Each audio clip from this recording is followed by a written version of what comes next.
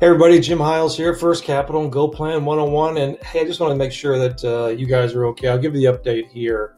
Um, wife is sequestered somewhere up there in her own room. As most of you know, she has a an issue medically, so we're keeping everybody away from her. So that's working fine.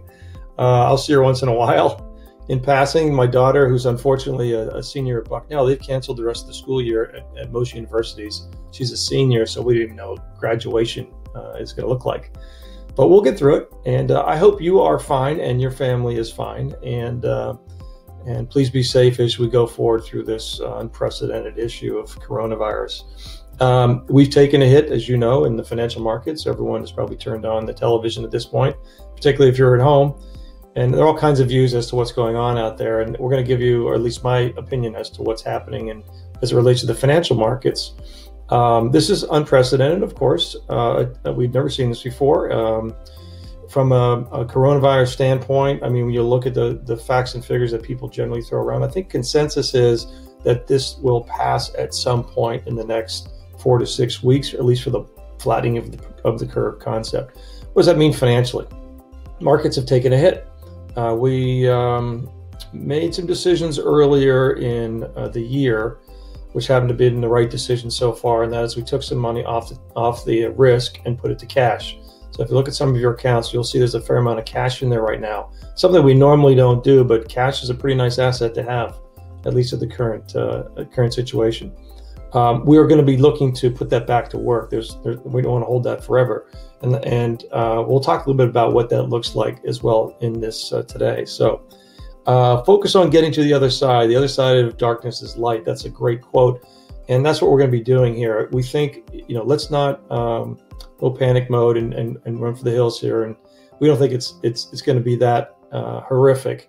Uh, could it be a 2008 type of experience? Yes. Even if it is, we're going to be planning for it, looking after your money in case it happens, and we're doing things already to hopefully protect, where we can come in later and take advantage uh, things can get messy before they recover. And uh, we just seen the CARES Act come out and this huge stimulus packages that are being uh, put upon the world. So uh, we're not sure how that's all going to work out yet, but uh, it needed to be done just to create a positive confidence uh, within the consumers in particular.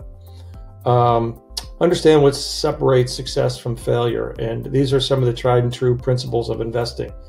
Uh, we are keeping stocks, companies, stocks that we like and, and sectors that we like that are really designed to be a long-term hold. So a portion of the portfolio will always be invested because the best way to invest long term is to stay in the market and ride these ups and downs out. That being said, we do have some opportunity dry powder. We're going to be taking advantage of some um, high quality companies. We're going to be buying some high quality companies, those which have the you know, least amount of debt, least cash flow issues, uh, higher profitability are the probably the stalwarts uh, uh, in their market. Um, these are the companies, the high quality companies, are like what we like to focus on. Uh, we're not going to be speculating here on various ups and downs on daily news. Uh, we do think there's a great opportunity in the bond and credit markets that will unveil itself. If you're not paying attention to those markets, you should probably look at them. They have also taken a pretty big hit along with the stock market. Not unusual in a crash type situation to have all markets get hit equally. Um, this too shall pass. We shall persevere. Um, watch the CARES Act video that I did. It's a long one, so it's about nine minutes or so. But get a cup of coffee, hang in there, and, and if you want to learn more about the at least the highlights of what I learned in the CARES Act over the weekend, uh, we're going to be looking at how to apply uh, uh, the CARES Act to you and businesses all across our, our client list. So, just a quick look here at the markets in general. Things must be kept in perspective. This is the S&P chart. This is actually a 12-month look back. And if you've kind of followed this chart from here on the left side, whoops, went too far. Here on the left side, you know, we're not that far down from a year ago at this point. Now, don't get me wrong, this drop was the fastest on record. It was one of the steepest on record, if not the steepest on record. And it went all the way down to a negative 33% rate of return. But put that in perspective. I mean, we've given away a couple of years of return, but we haven't given away all of our money and it's not all evaporated. It's still going to be there. Uh, it did have a rebound down 22.5% now after a significant rebound during the last uh, uh, few days. Um, what do we think about the market, the S&P, the stock market going forward? One of the things we need to be careful of is getting um, over uh, exuberant about uh, what has happened this week and you know 10% down day 10% up day and so on and so forth. Uh, we don't think that this is the bottom. We, we don't think this is, the, is it's an end of the bad news. Uh, we think that the bottoming in the stock market generally is a process not a point in time and generally not the first point in time. So i throw this chart up here. This is the actually the S&P uh, looking back and and through at least the history that I've studied in, uh, that I've been living in um, and you can see what goes on from time to time. These are 1974 we had a horrible market crash as well 73 74 oil. I wasn't there but I was uh, I wasn't participating anyway.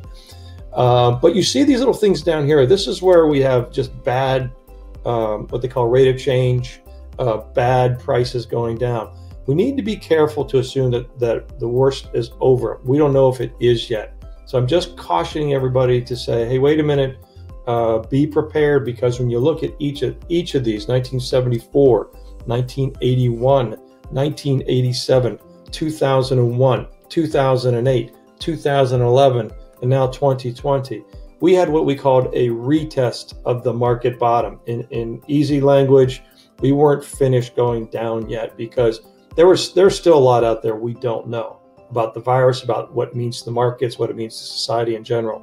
So be very careful here. Be we're being very cautious in here, um, and we're going to be looking for opportunities, but we're not going to be in a hurry yet. We do think there is a uh, an opportunity for a recovery, and with all of the money that's been put into the markets, this should be a really good opportunity at some point in the near future because there is so much cash out there that's going to help everything pretty much quickly rebound because the cost of cash is going to be so low. So we're looking forward to those days. I'm sure you are too. If you have any questions, please feel free to reach me. We are here. Uh, stay safe, stay well, and we'll talk to you soon. Take care.